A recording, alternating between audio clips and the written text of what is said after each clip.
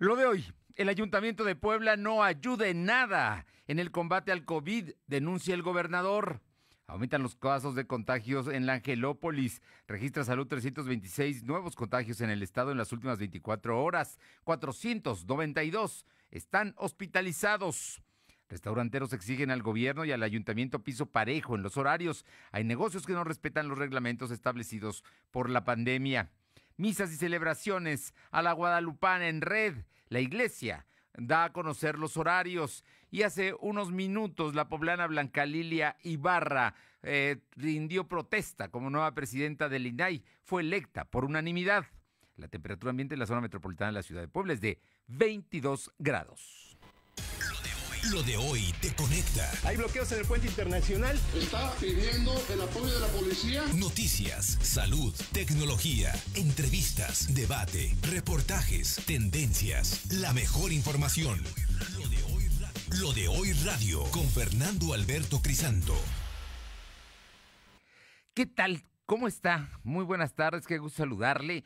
Son en este momento las 2 de la tarde con un minuto y estaremos con usted en los próximos 57 minutos para ofrecerle la información más importante y por supuesto darle muchos detalles. Hace unos minutos ya rindió protesta como nueva presidenta del Instituto Nacional de Acceso a la Información Pública, la eh, poblana Blanca Lilia Ibarra, periodista muchos años, gente vinculada a la, a la comunicación y en los últimos eh, ha sido comisionada del INAI. Y ahí precisamente ha hecho un gran trabajo. Ya estuvo en Puebla en la, en la Comisión de Acceso a la Información, incluso tuvo que defenderse en momentos muy complicados con el gobierno de Moreno Valle, pero ella salió adelante siempre como una mujer honesta y muy trabajadora. Y hoy Blanca Lila Ibarra es la nueva presidenta del INAI. Así es que felicidades a ella y por supuesto a su familia. Es un momento muy, muy importante y a nosotros también nos da mucho gusto que ya haya llegado a esa posición.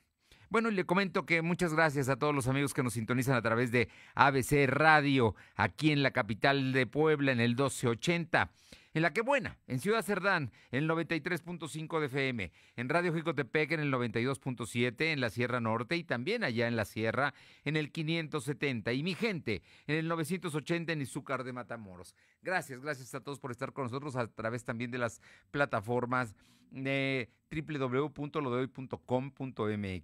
en, en nuestro canal de YouTube LDH Noticias y también en Facebook en LDH Noticias y estamos en Facebook Live en este momento. Gracias, gracias a todos por estar con nosotros. Vámonos de inmediato con la información. Y bueno, ¿qué le cuento? Ni las fiestas decembrinas ya que estamos a punto. El día de mañana es día 12 y como usted sabe se inaugura el puente Guadalupe Reyes. Bueno, pues ni eso, ni eso está mejorando las relaciones entre el gobernador Luis Miguel Barbosa y la presidenta municipal Claudia Rivera. Este día incluso el gobernador hizo señalamientos muy precisos de que el ayuntamiento de Puebla no contribuye en nada para disminuir los contagios de COVID en la capital. Y para que tenga usted una idea, ya en este momento estamos llegando, estamos cerca del 50% de camas dedicadas a COVID aquí que están siendo utilizadas en Puebla. Vamos con mi compañero Silvino Cuate que tiene toda la información. Silvino, buenas tardes. ¿Qué tal? Muy buenas tardes. Pues comentarte que el gobernador Miguel Barbosa Huerta señaló que el Ayuntamiento de Puebla no está contribuyendo en nada para disminuir los contagios de coronavirus en la capital y ni está apoyando en el reordenamiento del comercio informal del primer cuadro de la ciudad. En conferencia de prensa virtual, el mandatario dijo que el foco de la infección por coronavirus sigue siendo en la capital, ya que para este jueves se registraron 326 nuevos enfermos, de los cuales 277 fueron del municipio de Puebla. Agregó que el acantimiento de las medidas sanitarias debe ser una responsabilidad de todos, tanto como ambulantes como vendedores formales. Advirtió que su, gobierno no dudará en aplicar los decretos que fueron publicados en días pasados.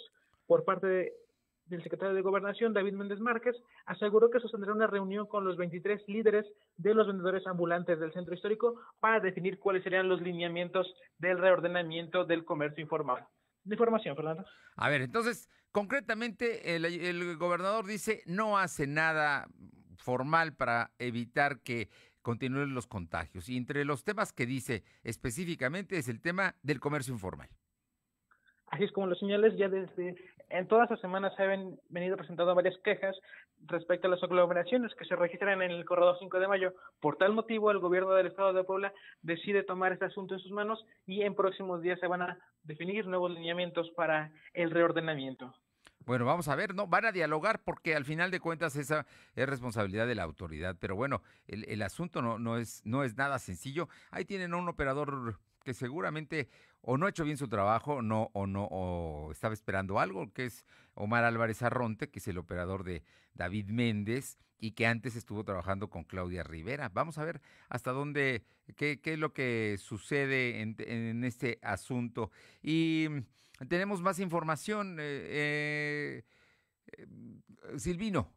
Claro, comentarte que después de que la presidenta municipal Claudia Rivera Banco no asistió a la comparecencia en el Congreso del Estado de Puebla, el gobernador Miguel Barbosa Huerta señaló que la edil debe cumplir con su responsabilidad. En conferencia de prensa, Barbosa Huerta dijo que la alcaldesa tiene la responsabilidad de colaborar con las diferentes instituciones del Estado para transparentar el uso de recursos públicos. Dijo que de haber asistido a la comparecencia, Claudia Rivera Banco pudo evidenciar que los llamados a comparecer son intereses políticos y no técnicos. Agregó que la comparecencia es un ejercicio donde la presidenta municipal cuenta con el derecho de debatir con los legisladores para transparentar los señalamientos que se le acusan. Y para comentarte que entre los varios señalamientos que dicen los diputados es el tema de compro de despensas que se repartieron durante la pandemia y también el tema de los ventiladores que fue todo un tema muy polémico en su en su momento. Bueno, pues ahí está el asunto. La presidenta municipal no fue al Congreso del Estado y también el gobernador dijo que ella perdió la posibilidad de debatir con los diputados, ¿no? Así es que vamos a ver qué, en qué termina todo este asunto. Fueron funcionarios del municipio, no estuvo ella, hubo gente allá en las afueras de lo que es la sede alterna del Congreso en la 8 Oriente y la 4 y bueno, vamos a ver qué es lo que sucede. Silvino, y eh, precisamente hablando de las cifras, danos las cifras que hoy da la Secretaría de Salud con relación a eh, los contagios que van en aumento. Y eso ya no hay vuelta de hoja, ¿eh? Ya estamos eh, aquella época en la que decíamos que iban hacia abajo, que había estabilidad. No, ya estamos superando la cifra de los 300. Informarte que el gobernador de Puebla señaló que el estado se encuentra en alerta México máxima, eh, ya que la curva de contagio de coronavirus tuvo un repunte, ya que la Secretaría de Salud registró 326 nuevos enfermos. En comparación con los datos de ayer, son 117 casos más. También se contabilizaron 17 decesos. Actualmente hay 43.657 acumulados y 5.514 defunciones. En conferencia de prensa, el secretario de Salud, José Antonio Martínez de García, explicó que existen 1.325 casos activos distribuidos en 57 municipios. Del total, 492 pacientes están hospitalizados, 77 requieren ventilación mecánica asistida. De información. Bueno, ahí están. ¿Cuántas camas? Eh, ¿Tienes el dato de cuántas camas hay disponibles para COVID en Puebla? después de que hubo ajustes en el hospital de traumatología y el hospital del norte se habilitó. ¿Tenemos ese dato? Eh, no dieron información sobre la el tema de la hospitalización. Únicamente señalaron que otro tema de salud.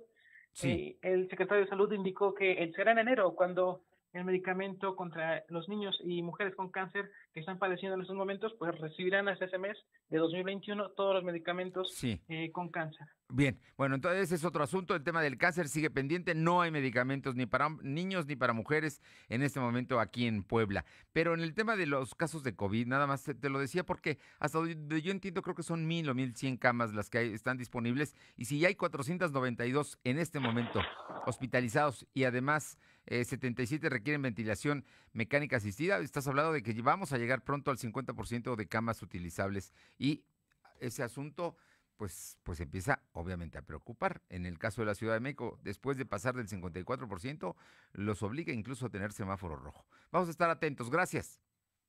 Seguimos pendientes. Son las 2 de la tarde con nueve minutos, dos con nueve minutos. Vamos con mi compañera Aure Navarro para que nos comente precisamente. Ella estuvo en el Congreso del Estado. No fue la presidenta municipal Claudia Rivera a la cita que tenía a las 9 de la mañana. Mm, fueron funcionarios y se dijeron cosas interesantes. Cuéntanos, eh, Aure, muy buenas tardes.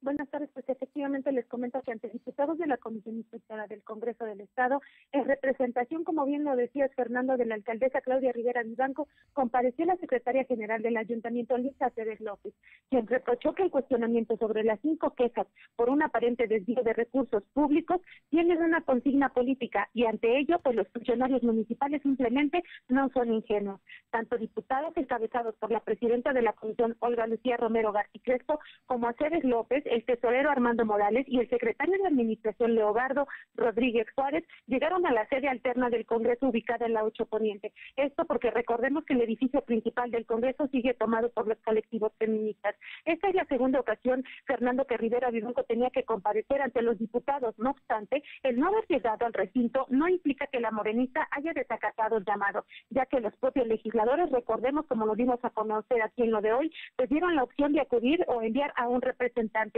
una vez ya en la mesa, el diputado panista Osvaldo Jiménez fue el primero que tomó la palabra y lejos de cuestionar a los funcionarios por las quejas, acusó que la comisión inspectora de la que forma parte está funcionando como un garrote político por instrucciones, dijo, del líder del Congreso, Gabriel Diestro Medinilla.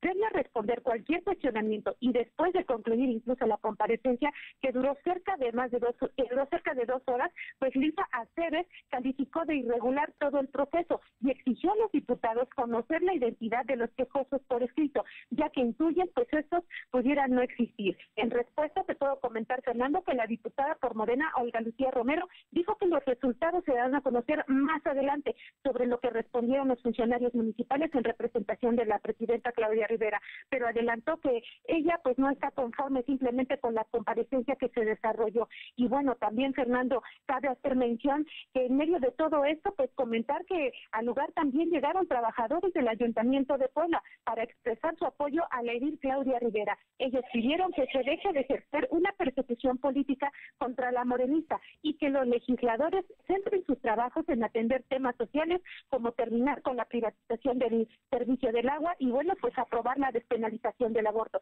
Y bueno, de esta manera fue como se desarrolló durante toda la mañana esta situación de las comparecencias, Fernando, que bueno, se dieron más que sí los, los cuestionamientos a los funcionarios sobre las situaciones que ellos manejaban como irregularidades, que recordemos, pues entre ellas estaban los trabajos en el centro histórico, así como por qué se dio el cierre de realidades por la pandemia por COVID, así como los temas de adjudicaciones, el incumplimiento de la repartición de hasta 15 mil juguetes y la repartición de despensas, así como de la compra de ventiladores para pacientes por COVID-19, que recordemos en su momento se dio a conocer que pues estaban en mal estado, Fernando.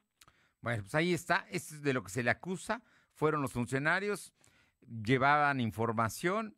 Al parecer los diputados traen una línea específica, es denostar todo el trabajo del ayuntamiento y por su parte el ayuntamiento pues también no, no dejarse no dejarse apabullar, ¿no? El, dio conferencia de prensa precisamente la secretaria general del ayuntamiento, Lisa Cebes, y pues hizo planteamientos, dijo que acusaban los diputados que no habían revisado pues los, los, todas las auditorías de la Auditoría Superior del Estado, ¿no? Y por ello calificó de indignante que se estén utilizando las instituciones para como garrote político, así textual.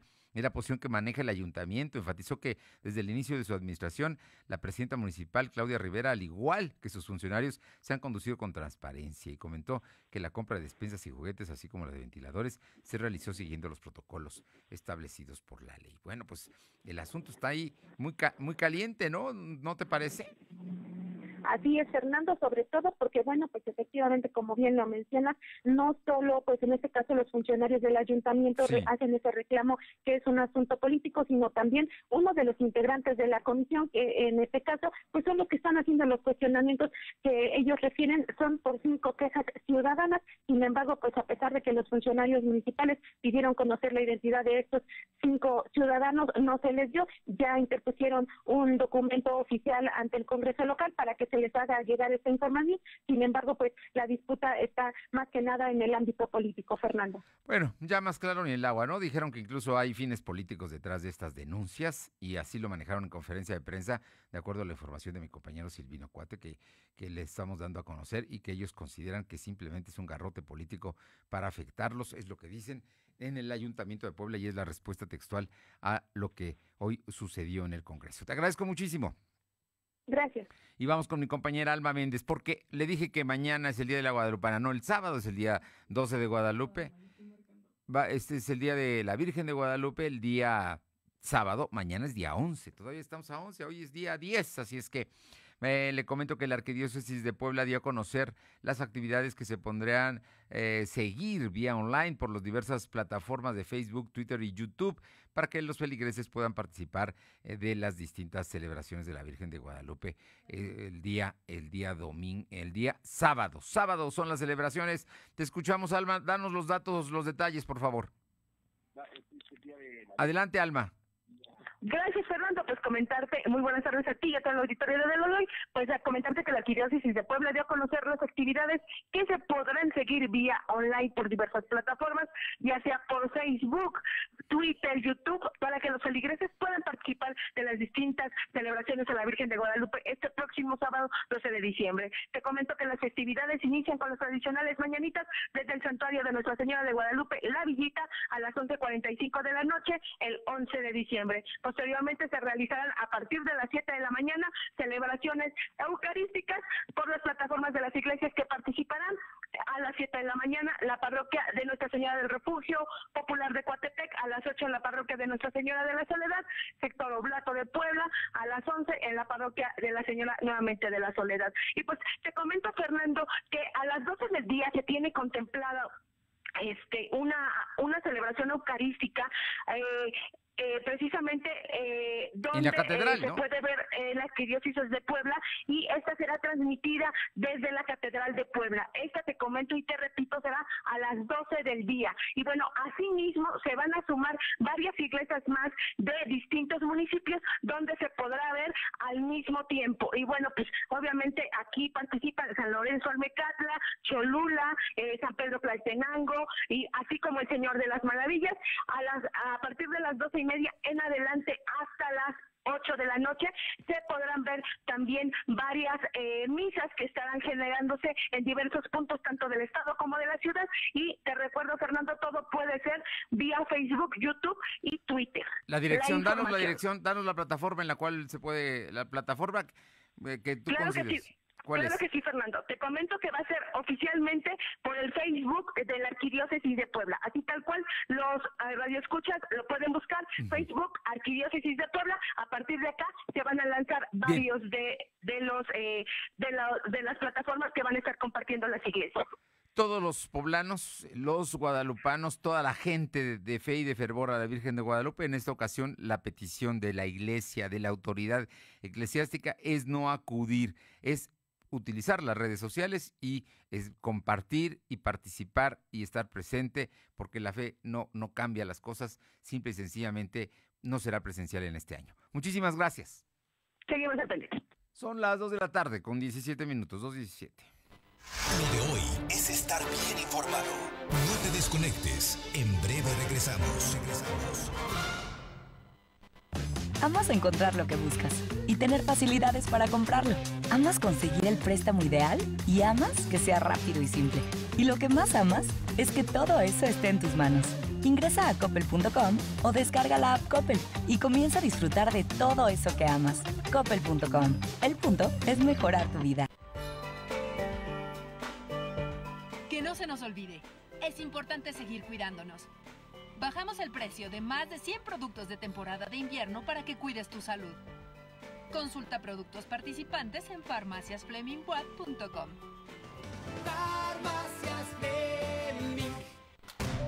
Solo podemos enviar abrazos y besos por el celular. Solo podemos darnos el codo como saludo. Hola, hola. Reunirnos, pero detrás de una pantalla. Sabemos que son tiempos difíciles para ser joven, pero también son buenos para participar en las decisiones importantes. Si cumples 18 antes del 6 de junio de 2021, tramita tu INE desde ya. Tienes hasta el 10 de febrero. Contamos todas, contamos todos. INE. Descubre el mundo de juguetes Coppel.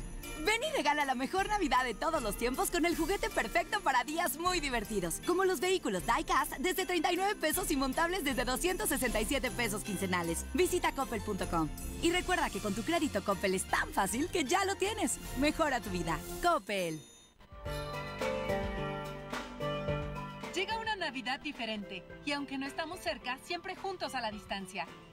Hay que cuidarnos para que pronto nos demos todos los abrazos que están pendientes. Farmacias Fleming te desea una feliz Navidad. Farmacias Fleming. Tengo 17 años, mi mamá falleció de cáncer. Ese vacío que dejó ella al irse me hundió, es lo que me tiene aquí. Me fui empezando a juntar con malas amistades y me dejé que, que me envolvieran y dije, pues va. La probé y me gustó y de ahí me agarré. Marihuana y tabaco son lo que... mi consumo crónico. Se fueron mis ganas de vivir. Me causó mucho sentimiento que me dijo mi abuela, yo no quería esto para ti.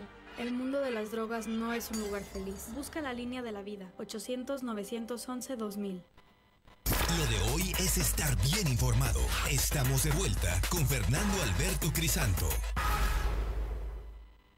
Bien, y ya estamos, estamos de vuelta y todos los jueves está con nosotros y le agradecemos muchísimo porque además eh, sabemos que está saturado de trabajo el diputado Fernando Manzanilla, vicecoordinador del Partido Encuentro Solidario en la Cámara de Diputados y, y Fer, pues hay temas, hay temas interesantes que se han dado, pero esta tarde, además de saludarte, yo quisiera empezar por este punto de acuerdo en el cual tú propones una amplia campaña de información sobre los riesgos de incrementos del COVID. Y es que estamos viendo que aunque los semáforos epidemiológicos en el mayor parte del país están en naranja, lo cierto es que las actitudes y lo que están solicitando autoridades como la de la Ciudad de México es porque estamos en rojo. Y en Puebla, ahí vamos, en ese camino. Muy buenas tardes y muchísimas gracias, Fernando Manzanilla. Eh, claro, Tocayo, efectivamente, tienes toda la razón. Justamente, además, el día de hoy se reportó este eh, que en el estado se registraron 326 nuevos enfermos el día de ayer. Entonces, bueno, pues empezamos a tener ya cifras muy altas que no habíamos visto hace tiempo. Eh, y esto me refiero tanto a nivel estatal como a nivel federal. La segunda oleada, pues está todo lo que da. Noviembre, de hecho, eh, Tocayo fue el segundo mes con mayor número de casos y de funciones desde el mes de julio. Y para el mes de diciembre estamos esperando eh, superar la barrera de los 200 mil nuevos infectados solo en el mes y más de 20 mil fallecimientos también solo en el mes. Desde luego sería el mes más terrible o más fuerte de toda de toda de toda la pandemia. Entonces, bueno, eh, eh, sí, perdón. no, no, te escuchamos. Este, eh, entonces, la, la realidad es que la situación es compleja. La Organización Mundial de la Salud ha señalado textualmente que México, así lo dijeron, se debe de tomar en serio la pandemia tenemos 24 estados en el país, incluido Puebla, que están, eh, bueno, creo que ya somos más, 24, 25 estados que están en semáforo eh, naranja, pero muchos están ya cerca de empezar a cambiar a semáforo rojo. Y a eso agrégale tú, pues el tema de los de la época de frío, el tema de la influenza y el tema, eh, bueno, el propio tema de los festejos religiosos, este y el tema de las de las celebraciones y convivencias familiares por tratarse de eh, eh, eh, las fiestas decembrinas. Entonces, pues es un cóctel explosivo. Todo nos indica que diciembre va a ser el peor mes que hemos tenido hasta ahora. Y, bueno, lo más grave que tenemos en este momento con estas circunstancias es que esta segunda ola o este segundo ciclo nos puede pegar justo en un momento dado donde no hay ciudad, región o casi, casi te diría yo municipio prácticamente municipio que esté libre de COVID en el país. Esto significa que podríamos tener un crecimiento exponencial eh, al mismo tiempo en gran parte del territorio nacional, cosa que no pasó en la primera eh, eh, ola y no pasó pues porque se empezó a focalizar más bien en las zonas urbanas. Entonces, bueno, el riesgo que podríamos tener ahora es que esto pudiera terminar de colapsar el sistema de salud y obligar a cerrar nuevamente las actividades justo al inicio del año. Entonces, por todas estas razones, Tocayo, estamos nosotros planteando hacer una, un, énfasis especial en lo que estamos viendo en muchos otros países, que son campañas amplias de información. Yo lo que estoy planteando, lo que planteé esta semana en la Cámara de Diputados, eh, es eh, dos cosas. Primero, que el gobierno federal realice una amplia, amplia campaña de difusión de información a través de la radio, a través de la televisión, a través de las redes sociales, para alentar a la población en general, pero particularmente a los jóvenes. ¿Por qué a los jóvenes? Porque lo que estamos viendo en muchos países es que los jóvenes son quienes más se están contagiando, porque son los que más están saliendo, pero además después de eso son los que llegan a casa a contagiar a sus familias y a sus seres queridos y particularmente, bueno, lo más delicado ahí es a los, eh, pues a la gente de la tercera edad y a la gente enferma. Y en segundo lugar también eh, que las autoridades locales, los municipios me refiero, y las, los estados, los gobiernos estatales hagan eco de esta campaña o bien impulsen sus propias campañas. Lo estamos viendo en muchas comunidades autónomas de España, como muchas de ellas están impulsando sus propias campañas, haciendo un énfasis especial en las medidas sanitarias vigentes este, y alentando a la población en esta época en especial eh, que, que, traten de no hacer reuniones presenciales, sensibilizándolos de los riesgos que implican los traslados y los viajes, e incluso pidiéndoles a la gente que celebren eh, eh, las navidades y las fiestas en casa solos con los miembros de su familia, los que vivan en su casa, que no se empiecen a juntar como es costumbre en estas fechas, digamos, en reuniones multitudinarias o grupales o donde se juntan las familias, digamos, que vienen de varios puntos y se juntan en un solo punto. Es una época muy delicada, Tocayo, este, estamos ante lo peor, lo peor de la pandemia. Hace mucho aquí hablamos que vendría una segunda ola, que esta segunda ola sería seguramente de noviembre al mes de marzo o al mes de abril y bueno pues estamos en pleno en pleno tema de esto entonces pues hay que redoblar esfuerzos y ser más precavidos que nunca. Eh, bueno, lo dices muy bien porque además estamos a punto, estamos a unos días de empezar eh, las celebraciones decembrinas que empiezan con la celebración de la Virgen de Guadalupe el próximo sábado, que, hay medidas extremas en la Ciudad de México, está cerrada totalmente la, la basílica, aquí en Puebla también están cerradas y acabamos de decir que hay toda una serie de celebraciones a través de redes sociales. Eh, todo esto es información que se requiere y que la gente requiere conocer. Pero luego vienen las celebraciones y las reuniones de fin de año, vienen las posadas, viene el abrazo navideño, el año nuevo, en fin. Y ahí es donde tenemos que tener mucho cuidado, eh, diputado Manzanilla. Y ahí es donde es necesaria que haya una gran difusión de todos los riesgos y todos los problemas que esto ocasiona. Eso es lo que se tiene que hacer eh, eh, en, muchos países, te repito, donde estamos viendo que se está promoviendo que se evite viajar, eh, se está pidiendo a las familias abstenerse de visitar otras familias, se les está pidiendo celebrar de manera virtual con familiares y amigos, solamente celebrar, digamos, pues la tradicional cena de Navidad o el Año Nuevo, desde luego no en lugares públicos, sino hacerlo en casa solo con los que viven en casa. Y bueno, habrá ya tiempo más adelante para festejar y reponer el cariño y los abrazos. Esperemos que en 2021 las cosas ya se hayan normalizado más eh, de aquí a un año y estemos en otra situación. en estos momentos es urgente que haya una amplia campaña de difusión solicitándole a la gente que no salga. Si no, el riesgo que tenemos es que los contagios que ya de por sí se están disparando antes de que empiecen los festejos, se nos disparen de manera fuerte y que tengamos una situación muy compleja, digamos, al inicio del año que lleve pues a que en gran parte del país, porque esto afectaría y va a afectar, como ya hay brotes en todo el país, a todo el país, pues que tengamos que pasar pues prácticamente todos a semáforo eh, rojo, que implica cierre de actividades, imagínate tú el impacto económico que ya sufrimos en 2020, en 2019, perdón, en 2020 a raíz de eso que ahora lo tengamos también al inicio del año. Entonces, este, eh, más vale este eh, eh, prevenir y no lamentar. Y bueno, y desde luego el propio tema de, los contagios y de los fallecimientos que está en un punto, digamos, altísimo, ¿no? Tocayo, preocupación de todos, de todos los días y a la cual tenemos que también ceñirnos nosotros con todas las medidas que ya están la sana distancia, el uso de cubrebocas y la higiene eh, de las manos constantemente. Tocayo, yo no quisiera esta tarde despedirnos porque hay un tema que ayer eh, eh, legislaron ustedes y que ya se está conociendo como la ley Home Office. Es que precisamente por la pandemia mucha gente ha tenido que ir en el confinamiento a trabajar a su casa y muchos lo siguen haciendo y muchos han encontrado la manera de hacerlo. Pero ustedes ayer hicieron una aprobación que me parece importante porque hay medidas y a lo mejor no, nos fuimos nada más con que las empresas tendrán que pagar energía eléctrica a Internet, pero creo que no es lo único. ¿Nos podrías platicar algo de ello?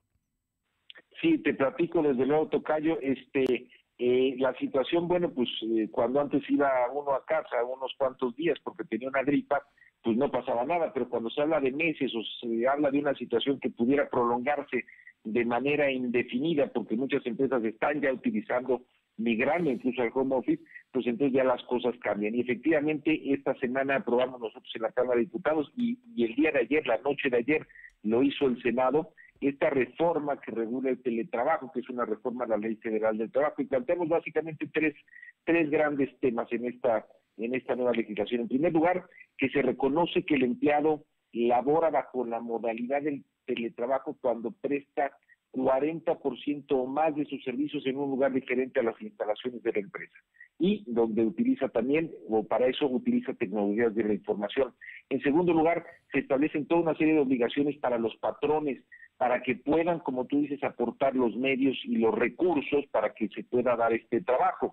Esto implica el pago de la luz proporcionalmente, el pago del internet, el pago del teléfono. Habrá que ver cómo se regula eso ya después por la Secretaría del Trabajo, pero implica que el patrón se hace responsable proporcionalmente de esos pagos y también de la instalación y mantenimiento de los equipos de cómputo, de impresoras, de sillas, de mobiliario, de todo aquello que se requiera para llevar a cabo el trabajo.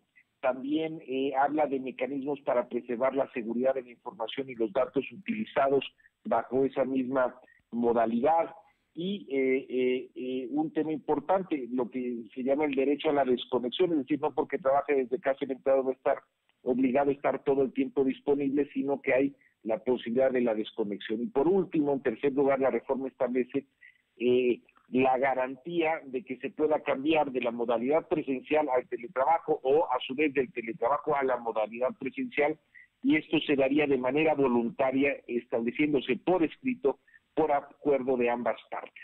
Entonces, este, esto, en, digamos, en resumen, es lo que implica esta reforma. Y bueno, pues hay que estar pendientes. Habrá seguramente una regulación ya mucho más detallada que a raíz de esta nueva reforma tendrá que sacar la Secretaría del Trabajo y Previsión Social. Pues Tocayo, es una medida muy, muy importante porque es un número muy eh, extraordinario de personas, especialmente los jóvenes, que están dedicándose ya al home office, ¿no? Y yo creo que ahí ahí las cosas cambian y, eh, bueno, ya el gobierno, el Poder Legislativo ya aprobó estas reformas a la Ley Federal del Trabajo que sin duda, como dices, tendrá que bajarse más a tierra, pero en general ya están ahí. Eh, así es, ya, ya quedan listas las reformas ya sobre este marco básico tendrá que regularlo la Secretaría de Trabajo, seguramente lo empezará a sacar a más tardar al inicio del año porque esta realidad del home office ya llegó para quedarse no es una moda nada más o una necesidad por la pandemia, es ya una realidad para muchas empresas, entonces bueno, pues tendremos que irla regulando, ir digamos viendo y conviviendo y aprendiendo eh, en estos cambios enormes que estamos viviendo por la pandemia, bueno, pues este es uno de ellos y implica también pues nuevas realidades y también nuevas regulaciones. Diputado Fernando Manzanilla, termina ya el periodo del próximo, si no estoy mal, el próximo martes, termina el periodo ordinario de sesiones terminaremos ya, Tocayo, el próximo, el próximo martes, se nos irán ya, este, ya no estaremos votando y discutiendo temas como el tema del cannabis, tampoco el tema del outsourcing, eso se van hasta el siguiente periodo legislativo, el próximo año estaremos cerrando, digamos, pues ya con los temas que ahorita traemos pendientes, pero esos dos al menos que eran los temas más álgidos, ya pasan hasta la siguiente, hasta el siguiente periodo de sesiones. Pues ya estaremos. Espero la próxima semana antes, antes de, digo, de que seguramente tomarás merecidas vacaciones, pero la posibilidad de poder platicar contigo. Será un gusto y un placer como siempre. Te agradezco mucho. Un fuerte abrazo. Gracias a ti. Igualmente un abrazo. Son las 2 de la tarde con 33, 2.33. Lo de hoy es estar bien informado. No te desconectes. En breve regresamos. Regresamos.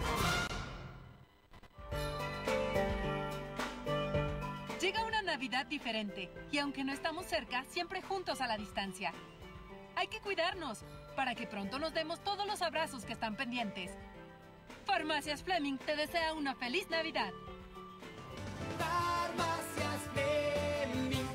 Chiapas y Tabasco nos necesitan. Súmate a la iniciativa Unidos ante la Tempestad de Grupo Coppel, donde por cada peso que dones a la Cruz Roja Mexicana, en las ventanillas y en la red de cajeros Bancoppel, Grupo Coppel donará otro peso con vigencia del 21 de noviembre al 21 de diciembre. Los mexicanos unidos podemos lograr grandes cosas. Llena de color tus historias y espacios con el regalón navideño de Comex. Cubeta regala galón, galón regala litro. Más fácil, compra en línea pida a domicilio o llévalo a meses sin intereses. En estas fiestas, ponle color a tu historia. Comex. Vigencia el 28 de diciembre del 2020. Consulta condiciones en tienda. La CNDH llega a 30 años y se propone un cambio de fondo con el objetivo de ser más eficaz en la defensa y protección de los derechos humanos y así transformarse en una auténtica defensora del pueblo. Es momento de reivindicar y dar una nueva dirección a la CNDH para dejar la simulación y actuar en favor de la defensa y protección de los derechos humanos con la austeridad que exige el momento que vivimos en México. Comisión Nacional de los Derechos Humanos, 30 años, defendemos al pueblo. En Coppel sabemos que la magia de esta Navidad es estar juntos aunque estemos lejos, para que este año sea un poco más parecido a los demás. La magia de esta Navidad es seguir conectados. Encuentra en Coppel, la app y coppel.com la mayor variedad de celulares y llévalos con tu crédito Coppel. Elige tu cel, elige usarlo como quieras. Mejora tu vida. Coppel. Que no se nos olvide, es importante seguir cuidándonos. Bajamos el precio de más de 100 productos de temporada de invierno para que cuides tu salud. Consulta productos participantes en farmaciasflemingwatt.com. Farmacias Fleming. Lo de hoy es estar bien informado. Estamos de vuelta con Fernando Alberto Crisanto. Bien, y eh, le comento que hay una explosión en la refinería de Cadereyta, esto allá en Nuevo León. Hay cinco personas lesionadas, es una refinería de petróleos mexicanos, de Pemex. Vamos aquí con la información local. Eh, Alma, los restauranteros, los restauranteros están pidiendo piso parejo en los horarios. Te escuchamos. Así es, Fernando, pues comentarte que la Canera Capítulo Puebla realizó un exhorto al gobierno estatal y a los gobiernos municipales para ser equitativos en la aplicación de decretos, ya que aseguran que pese a las restricciones en los horarios para el comercio establecido, los negocios informales de alimentos continúan abiertos con horarios extendidos.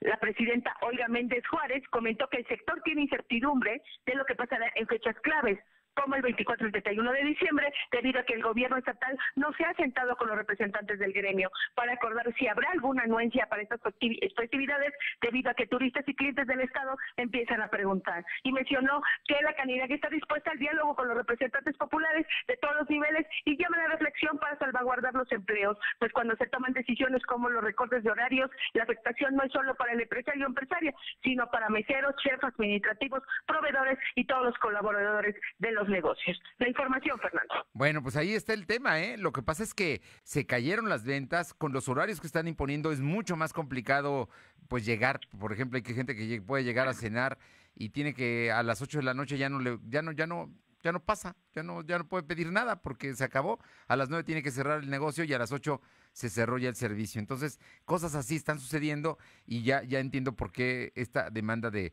la Cámara de la Industria Restaurantera. Oye, por otra parte, ¿qué dice la Canacintra? La Canacintra se pronunció a favor de regularizar el home office, ya que la reforma a la ley de trabajo avalada por la Cámara de Diputados es viable ante la pandemia por la que atraviesa el país, debido a que los pagos de estos servicios son absorbidos por el trabajador y disminuyen sus ingresos. El presidente Gabriel Cobrarubias Lomelí mencionó que está a favor de que las empresas asuman el costo del servicio de Internet y la luz que se utiliza para trabajar vía remota. Consideró que los legisladores, así como las autoridades fiscales, deben valorar la posibilidad de que el pago proporcional de los servicios de luz e Internet sean deducibles de impuestos para las empresas. La información, Fernando. Bueno, ahí está, ¿no? Acabamos de escuchar al diputado, precisamente, legislaron ellos, están de acuerdo los trabajadores, pero tienen que ver los eh, industriales, el eh, presidente de los industriales de la transformación, Gabriel Covarrubias, lo dice, pero también tiene que haber una serie de, eh, digamos, en este caso, de, de situaciones de reconocimiento a los empresarios que van a tener que hacer erogaciones, como se está estableciendo. ¿Hay algo más? Eh... Sí, jueves cerca de 50 personas entre músicos, meseros y demás integrantes de diversos grupos se manifestaron frente a la Secretaría de Gobernación y donde exigieron se les entregue el apoyo de tres mil pesos que se les prometió por parte del gobierno municipal. Y es que recordemos, Fernando, amigos del auditorio, en el mes de octubre el regidor de Gobernación, Iván Camacho, informó que el ayuntamiento entregaría 140 apoyos económicos de tres mil pesos cada uno a artistas urbanos que han quedado desempleados por la pandemia y señaló que se habían entregado los primeros 65 cheques y en los días posteriores se concluiría con la distribución de los restos de los beneficios. Y bueno, pues cabe comentar que este jueves los manifestantes acusaron que cada vez que se acercan a las oficinas de la administración municipal para preguntar sobre dicho recurso, les dan largas y otras dependencias, las de entre dependencias echan la bolita, asegurando que no saben o no o, o si les han entregado o les preocupa que no les entregan este este recurso, pues está a punto de terminar el año y bueno, pues esto este podría pasar y pues ya no se los entregan o lo podrían desaparecer. Aseguraron que la documentación que les fue requerida ya fue entregada, además de que el recurso ya fue aprobado, pero no han entregado el dinero, a pesar de que el pasado 20 de noviembre fueron citados en el, en el Polideportivo Xonaca por más de seis horas, donde al final no les entregaron dicho recurso. La información, Fernando. Bueno, pues ahí están los músicos, ¿eh? Y les habían prometido y no les cumplieron. Muchas gracias. Seguimos al pendiente. Vamos con mi compañero Silvino Cuate para que nos comente sobre una petición que hizo el gobernador al eh, Senado de la República, porque hoy deben designar a un nuevo magistrado del Tribunal Electoral del eh, Estado. Te escuchamos, Silvino. Comentarte que el gobernador Miguel Barbosa Huerta solicitó a los tres senadores poblanos que garanticen que el nuevo integrante del Tribunal Electoral del Estado de Puebla sea de alto perfil, conocedor del derecho en materia electoral y que no esté ligado a intereses políticos. En conferencia de prensa, Barbosa Huerta explicó que este jueves el Senado de la República deberá designar un nuevo magistrado o magistrada en el Tribunal Electoral del Estado. Por ello pidió que sean prudentes al momento de elegir. Dijo que será muy peligroso para la democracia en Puebla que la designación obedezca a intereses personales o políticos comentó que la persona que ocupe este cargo debe contar con experiencia electoral a fin de garantizar transparencia. Es importante mencionar que son 22 perfiles los que están participando para obtener el cargo en el tribunal. Información. Bueno, y podría ser una mujer, ¿eh? aunque el actual... El, em, el, actual eh, magistrado Sarabia está buscando repetir, podría no, no ser, no corresponderle a él. Oye, y también hay algún asunto del Tribunal Electoral del Estado, una recomendación al Congreso. Así es como lo comentas, después de que el Tribunal Electoral del Estado de Puebla recomendó al Congreso de Puebla analizar la revocación del mandato de la presidenta municipal Claudia Rivera y Banco por retener los, las compensaciones de los regidores del grupo G5, la secretaria de Lisa Cebes López dijo que buscará resolver esa situación de manera legal, ya que los regidores habían sido notificados para la retención de sus compensaciones. En conferencia de prensa, donde estuvo presente el consejero jurídico del gobierno de la ciudad, Edgar Damián Romero, dijo que los regidores habían aceptado donar sus compensaciones para beneficiar a los vendedores de los mercados que fueron afectados por la pandemia. Por ello, por ello recurrirá al Tribunal Electoral del Poder Judicial de la Federación para que sea el máximo poder quien determine la situación legal. Respecto a que el Tribunal Electoral del Estado de Puebla rechazó el recurso interpuesto por la presidenta municipal Claudia Rivera y Banco que alega violencia de género en contra por parte del gobernador Miguel Barroso Huerta, el consejero jurídico dijo que este tema también será llevado al Tribunal Federal para que se arregle en el tema legal. La información, Fernando. Bien, ¿algo más? Es toda la información que tenemos. Bien, vamos con Aure Navarro para que nos dé eh, noticias. Aure, cuéntanos eh, el tema de eh, las declaraciones del diputado de Morena, Alejandro Carvajal. Sí, les comento que tras confirmar que será hasta febrero del 2021 cuando se dé el análisis y aprobación de la minuta que legalice el uso y consumo de la marihuana, el diputado federal por Morena Alejandro Carvajal se pronunció a favor de esta regulación. En rueda de prensa señaló que solo así se podrá poner fin a la criminalización de la que por años pues han sido sujetos los campesinos en todo el país. Refirió que él está a favor de la regulación del cannabis porque hasta ahora al ser algo prohibido solo ha generado un fortalecimiento de la delincuencia organizada. Carvajal expuso que además de los campesinos, pues también quienes la consumen de forma lúdica o por enfermedad, pues han sido criminalizados. Además expuso que con esta eh, con esta legalización pues se pondrá fin al comercio clandestino de medicamentos y agregó que con la regulación se podrá eh, pues ahora eh, lo que es producir en territorio poblano o mexicano, pues este tipo de, de en este caso la marihuana o lo que es la, la planta y pues dijo que así se terminará precisamente de criminalizar al campo campo poblano o mexicano, Fernando. Vamos a ver, pero no lo van a legislar en este periodo, se va a pasar hasta el próximo año. Oye, Aure, y por otra parte, hoy el Congreso del Estado designó al nuevo comisionado del Instituto de Transparencia, así como en México eligieron ya a Blanca Lilia Ibarra como la presidenta del INAI, aquí en Puebla el instituto que ella presidió algún día también tiene un nuevo comisionado. Así es, Fernando, el Congreso local designó a Francisco Javier García Blanco como el comisionado del Instituto de Transparencia, Acceso a la Información Pública y Protección de Datos Personales en el Estado de Puebla para un periodo del 6 de enero del 2021 al 5 de enero del 2027. Fue sesión pública ordinaria donde se presentó la terna formada por Israel Argüello Boy, Francisco Javier García Blanco y René Lazar Acosta, de la cual la presidenta de la mesa directiva, Nora Merino Escanilla, cantó que el nuevo comisionado tuvo la mayoría calificada con 23 16 votos a favor, 0 en contra y 11 abstenciones, por lo que instruyó de inmediato que se notifique al ESAID sobre la determinación, por lo que se tomará protesta constitucional a García Blanco en la próxima sesión pública ordinaria del Congreso local, Fernando. Bueno, pues ahí está, ya hay un nuevo comisionado. Este comisionado, de, todos los análisis que se hicieron, ¿él depende de alguien en especial? ¿Tierra hay algún, o, o dónde estaba trabajando antes de llegar a esta posición? Bueno, mencionaste que Francisco Javier García se desempeña como profesor de la Universidad Anáhuac, Fernando. Ese es, ese es, digamos que su antecedente laboral en este momento. Muy bien, ¿algo más, Aure? Sí, te puedo comentar que el secretario general del Comité Directivo Estatal del Partido Acción Nacional en Puebla, Francisco Fraile García, arremetió contra la forma de gobierno que encabeza Morena, al reiterar que quienes se desempeñan como autoridad tratan de seguir actuando como activistas y no una autoridad ya formal para los poblanos. Por ello refirió que él en su calidad de panista de CEPA pues pide a los poblanos dar su voto de confianza a la alianza que se formalizó ayer entre el PAN, el PRI y el PRD para que quienes, bueno, pues tienen, tienen ya la experiencia en ser gobierno retomen el camino del Estado. En este sentido, ejemplificó que los gobiernos de Morena deben dejar de lado su actuar como activistas, toda vez que dijo de forma textual Fernando, no es lo mismo ser borracho que ser cantinero y que pasar de borracho a cantinero cuesta trabajo. Fraile García apuntó que la forma errónea en que se conduce Morena desde los diferentes niveles de gobierno, pues es evidente. Tan solo en el Congreso local dijo, nunca con gobiernos panistas o priistas se había dado una toma y plantón que advierte esto pues estará vigente por más de tres meses, Fernando. Bueno, pues ahí está el asunto, ¿no? estos temas, estos temas que se están planteando y bueno, posición de Paco Fraile, ¿no? En torno a, a, la a cómo gobierna Morena. Muchas gracias, Aure. Gracias, buena tarde. Son las 2 de la tarde con 47 minutos, 2 con 47. Lo de hoy es estar bien informado. No te desconectes. En breve regresamos. Regresamos. Llegó Coppel Max, el nuevo programa de recompensas de Coppel. Es muy fácil. Si tienes crédito Coppel, con todas tus compras y abonos, ganas dinero electrónico para tus próximas compras. Por eso cuando me compré el televisor, aproveché y compré una barra de sonido. Y ahora los dejo, porque no quiero perderme el final. Pero recuerden, ganar es lo máximo. Conoce más en coppel.com. Mejora tu vida, Coppel.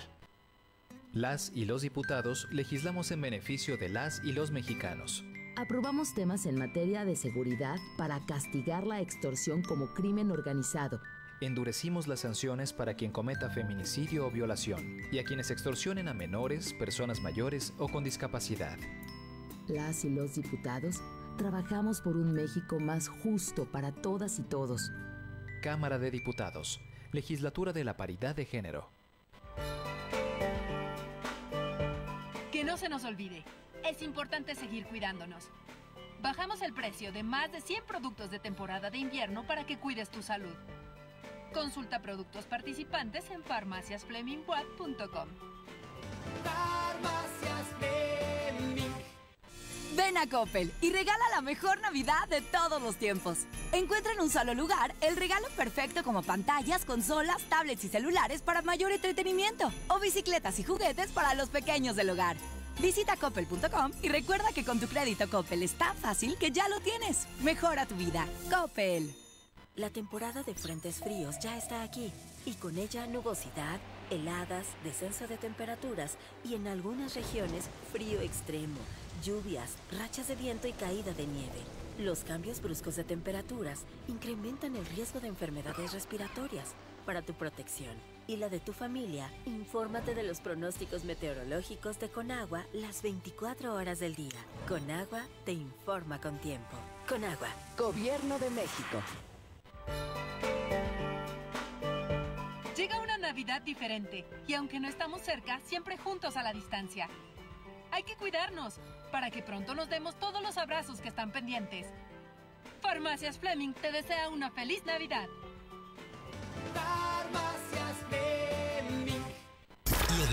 Es estar bien informado. Estamos de vuelta con Fernando Alberto Crisanto. Bien, y son las 2 de la tarde con 49 minutos. Vamos hasta Atlisco, Puebla, con mi compañera Paola Aroche. Paola, cuéntanos el tema de la subdirección de vialidad sobre el tema, sobre procesiones. No hay registro de procesiones en Atlisco, que es un lugar de paso y es un lugar también donde se celebra la Virgen de Guadalupe. Efectivamente, muy buenas tardes y comentarles que la Subdirección de Vialidad Municipal aquí en el municipio de Atlisco, pues hasta el momento no tiene ningún registro en cuanto a procesiones que hayan solicitado el apoyo a esta área de vialidad para poderlos encaminar para la Basílica de Guadalupe. Hay que recordar que por el tema de la pandemia, pues muchas eh, personas que organizaban estas procesiones optaron por dejarlas para el siguiente año, principalmente pensando por el tema de salud. Y es que se estiman que eran más de 30 eh, las procesiones que de aquí del municipio de Atlisco, de diferentes colonias, partían desde el 8 de, de este mes, 8 de diciembre, hacia la Basílica de Guadalupe, en todos sus modos, caminando, corriendo, bicicletas, por relevos, pues por todo esto eh, se podían ver a, peregrinaciones grandes de números considerables de personas quienes viajaban hasta la Basílica de Guadalupe, pero hoy muchos fueron conscientes y optaron por dejar esto para el siguiente año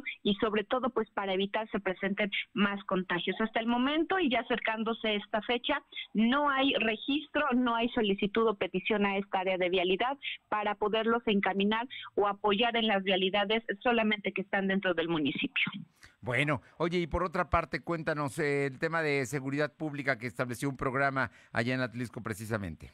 Efectivamente está establecido ya este programa a partir de pues ya esta fecha por parte del área de seguridad pública que va enfocado principalmente a que todas aquellas personas que estas eh, fechas busquen o quieran sacar parte de su aguinaldo o completo su aguinaldo, pero no se sientan seguras al llegar a los cajeros o a lo que es las sucursales bancarias, bueno, pues eh, es muy fácil solamente tienen que marcar al área de seguridad pública. En ningún momento se les va a pedir eh, datos personales o a qué sucursal van a ir o cuánto es lo que van a retirar. Elementos los van a estar acompañando desde el momento en que salen de su casa o de su negocio hasta que regresan sanos y salvos. Esto principalmente se hace para evitar eh, pues que en esa temporada ya de fin de año se presenten asaltos, robos y en su momento desafortunadamente hasta algunos asesinatos por el tema de que quieran robarles eh, su dinero. Así que el exhorto por parte del área de seguridad pública es que eh, tomen en cuenta este programa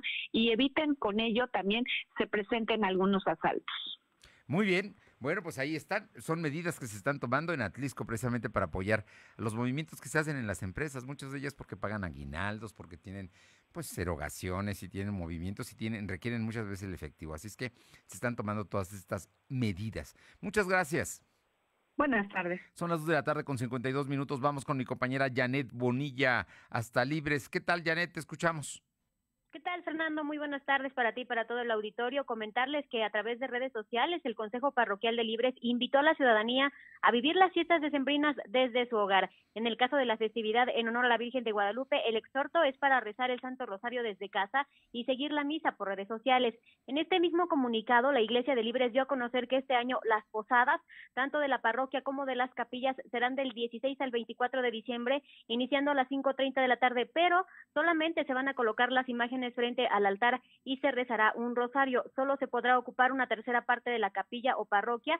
Todos deberán portar cubrebocas y colocarse gel antibacterial en las manos. No estará permitida la presencia de niños y personas de la tercera edad. Con esto, el Consejo invitó a no realizar las posadas en las calles. Y es que te platico, Fernando, que estas actividades son de las más esperadas en Libres, ya que hay gran presencia de ciudadanos que acuden por ponche, por aguinaldos, por juguetes, que disfrutan de música en vivo a lo largo y ancho de la calle organizadora, pero este año no se podrá llevar a cabo. Y el llamado, pues, es evitar esa aglomeración de personas y de esta manera el COVID-19 no se siga propagando. Bueno, es una determinación que se tomó ya, así es que no va a haber posadas en las calles allá en Libres. Así es, Fernando, y es que sí reúnen a muchísima gente durante estas fechas, así que este año nos quedaremos con las ganas, pero todo sea por seguir cuidando nuestra salud. Muy bien, gracias. Buena tarde. Bueno, le comento que los nuevos inversionistas de AMSA, encabezados por el empresario Julio Villarreal, se comprometieron a pagar el supuesto sobreprecio de 200 millones de dólares que el gobierno de México reclama por la venta de la planta de fertilizantes agronitrogenados a Pemex en 2013 reportó Infocel. El pago a las autoridades mexicanas forma parte de la operación de compra de un interés de 55% en Grupo Acerero del Norte. La empresa controlaba Dora de la siderúrgica, también conocida como AMSA, por parte de eh, Alianza Minero Metalúrgica Internacional, anunciada el día de ayer. Así es que sí le van a pagar 200 millones de dólares al gobierno del presidente que es por lo que está persiguiendo a Ansira, el empresario Ansira. Y luego, por otra parte, la medalla Belisario Domínguez la determinó el Senado entregársela al personal médico. Es una decisión que se acaba de tomar y van a ser a los médicos precisamente que están en la batalla contra el COVID. Ya le había comentado que se registran dos explosiones en la refinería de Cadereyta y además le comento que aumentó la extorsión a empresas en México en 2019. Por otra parte, están el presidente de la República el día de hoy propuso que el aumento del aguinaldo mínimo sea superior al 15%. Vamos con mi compañera Luz María Sayas, eh, nuestra corresponsal allá en Tehuacán. Te escuchamos, Luzma, ¿cómo estás? Muy buenas tardes. Hola, ¿qué tal, Fernando? Muy buenas tardes para ti, los nuestros escuchas de lo de hoy. Te comento que, lamentablemente, aquí en el municipio de Tehuacán, Puebla, un menor de dos meses de edad, bueno, pues perdió la vida. Trascendió que en la madrugada la mamá despertó para cambiarle el pañal y darle de comer. En ese momento se percató que ya no se movía. Llaman de inmediato a los servicios de emergencia. Lamentablemente, los paramédicos llegaron al domicilio Las Flores entre 30 y 32 oriente de la colonia Santiago. Posteriormente llegaron policías eh, seguridad pública, elementos de seguridad pública. Hasta el momento se sabe que el cuerpo del menor fue trasladado al CENMEJO para realizar la necropsia de ley y continuar con los trámites correspondientes ante la autoridad competente. Lamentable los hechos de este menor. Con esto, que ya son cuatro menores de edad que pierden la vida en este mes de diciembre. Y por otro lado, también comentarte, Fernando, que, bueno, elementos de protección civil y bomberos a cargo de Luis Santa María Amayo de Tehuacán inician con operativos en lugares estratégicos para evitar la venta de materiales explosivos en la calle primera, segunda y tercera de Agustín Cacho. Mercado, ya que para vender tienen que contar con un permiso por parte de la Secretaría de la Defensa nacional. De lo contrario, se llevará a cabo el decomiso. La mayoría de los ciudadanos tienen la costumbre de quemar pirotecnia el 12 de diciembre y en esta temporada de, de que es en la Nochebuena y en el recibimiento del Año Nuevo. Asimismo, se dio a conocer que a quien haga caso omiso sobre el uso de este tipo de material explosivo serán contemplados en el artículo 104 de Protección Civil. Agradable para muchos realizar este tipo de actividades sin tomar en cuenta las medidas de precaución que es desde el perder alguna extremidad del cuerpo, provocar un incendio y daño que puede causar algunas de las mascotas como perros y gatos. Bien, Fernando, pues esas son parte de las actividades que se llevan en Tehuacán, Puebla, en este tema. Lamentable los hechos, pero también, por, otra parte, esto es el trabajo de protección civil. Hasta aquí mi deporte, desde Gracias. Y vamos con mi compañero Uriel Mendoza, al sur del estado. Uriel, ¿cómo estás? Muy buenas tardes. Bueno, Uriel. Buenas tardes. buenas tardes. Te escuchamos, Uriel. Durante, se tuvo un accidente durante la mañana este jueves, tratándose de una eh, tenemos, tenemos problemas con tu audio. Eh, no sé si tengamos, mm, te, puedas cambiar de lugar para mejorar el audio o te volvemos a llamar, Uriel. Te escuchamos. buenas tardes.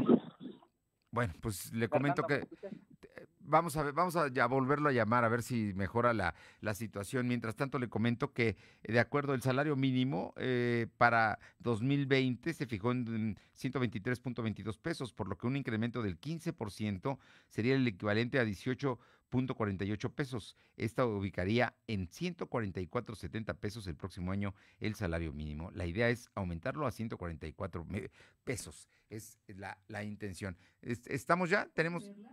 Eh, durante la mañana de este jueves se registró la volcadura de una pipa de gasolina tras perder el control, esto en el municipio de Piastla, antes de llegar al puente eh, rumbo a Tecomatlán, eh, mismo que aparentemente tiene una fuga del hidrocarburo tras el fuerte golpe. Los hechos ocurrieron alrededor de las 11 de la mañana de hoy, cuando el chofer perdió el control de la unidad y terminó volcado en la cinta asfáltica. El tramo carretero que permanece cerrado desde el momento del accidente. En el lugar se esperaba el arribo de protección Civil y Bomberos para coordinar el área, controlar la fuga de la gasolina y trabajar en la reapertura de la circulación que ha permanecido cerrada ahí por varias horas. Es el asunto allá en Piastla.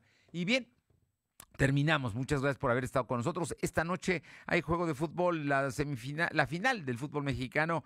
Hoy, precisamente, Puma recibe en Ciudad Universitaria a León a partir de las 9 de la noche. Por lo pronto, tenga una buena tarde de jueves. Nos encontramos mañana aquí en punto de las 2. Hay que cuidarnos. Hasta mañana. Gracias. Fernando Alberto Crisanto te presentó lo de hoy radio.